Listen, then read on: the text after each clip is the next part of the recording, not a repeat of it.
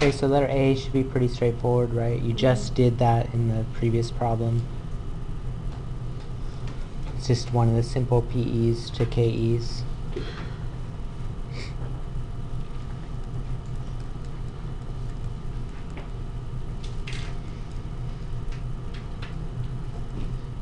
Okay, so what are we getting for the V at point A?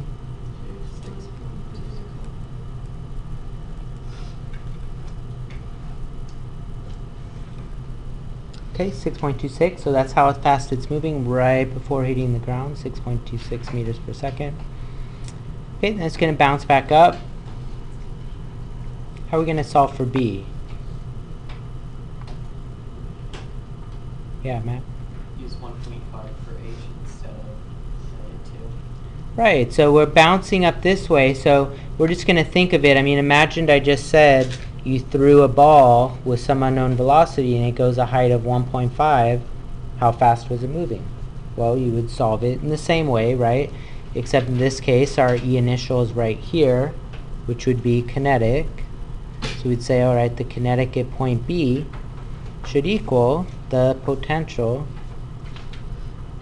at the top or here. Maybe we'll call this one the initial I, this one the final F.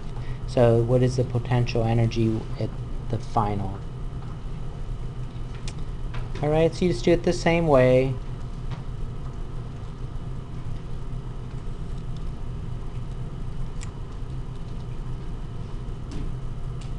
Except we use 1.5 for our height.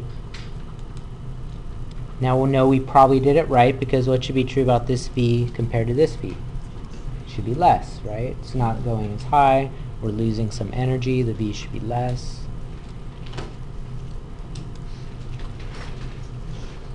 Five point something? Four, three?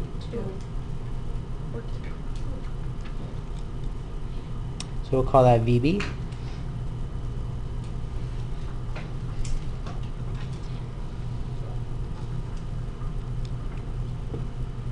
Okay, letter C. Energy lost. Okay, so at this point, um, you actually have ma many options to do it. So we are going to do E initial equals E final. Question is, what's our initial, what's our final?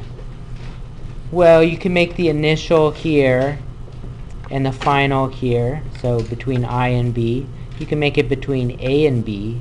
You can make it between A and F, or you can make it between I and F. Doesn't matter as long as your initial is before the bounce and your final is after the bounce, because most of the energy gets lost in the bounce, in the collision.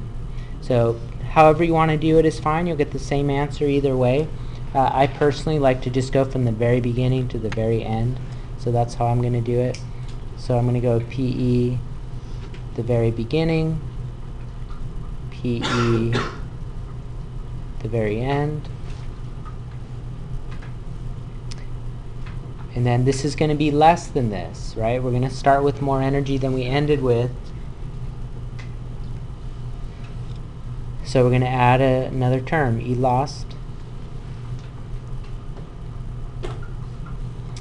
So mgh at the very beginning should equal mgh at the very end plus E lost.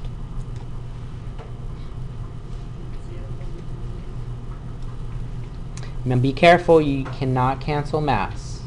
Okay, notice it's only in two of the three, not all three. Okay, so 200 grams, what do we have to do with 200 grams? Convert that, yeah. So that's going to be uh, 0.2 times 9.8 times, uh, what was it, 2? And 0.2 times 9.8 times 1.5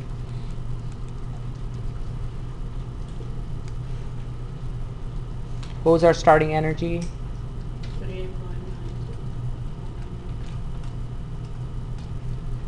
What was our ending energy?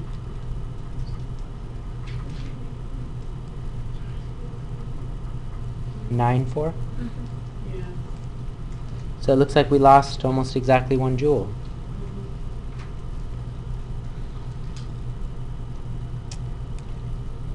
So it's at 98.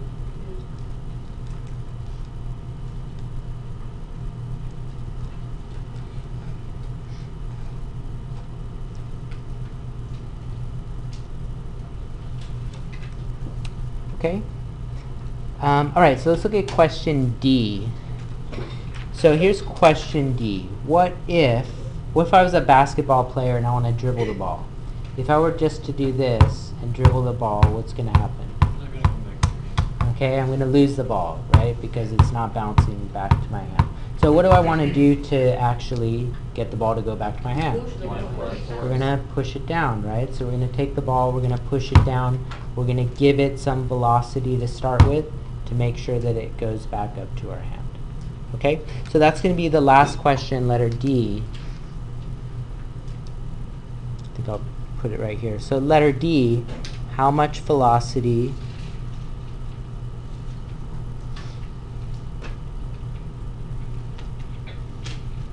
uh, is needed to bounce back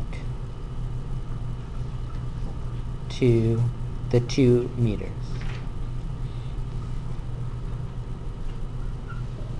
So we want it to go back up to our two meter height. Okay, so I'm going to give you a chance to see if you can figure this out on your own.